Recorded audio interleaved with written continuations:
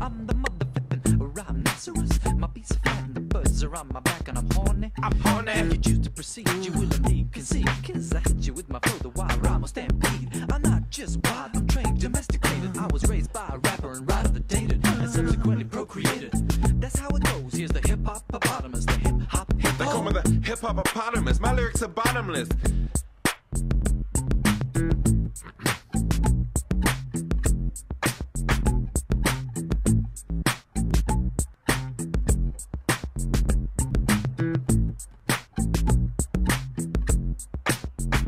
They call me the hip hippopotamus. Flows that glow like phosphorus. Popping off the top of this esophagus. Rocking this metropolis. I'm not a large water dwelling mammal. Where did you get that preposterous hypothesis? Did Steve tell you that perchance?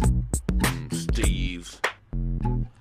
My rhymes and records, they don't get played because my records and rhymes, they don't get made. And if you rap like me, you don't get paid. And if you roll like me, you don't get laid. My rhymes are so potent that in this small segment I made all of the ladies in the area pregnant. Yeah, sometimes my lyrics are sexist, but you lovely bitches know should know I'm trying to correct this. Other rappers dismay, say my rhymes are sissy.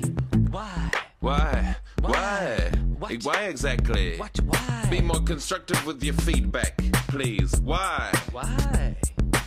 Why? Cause I rap about reality. Hannah's Tea Party. Hi, ho! I'm the mother flippin'.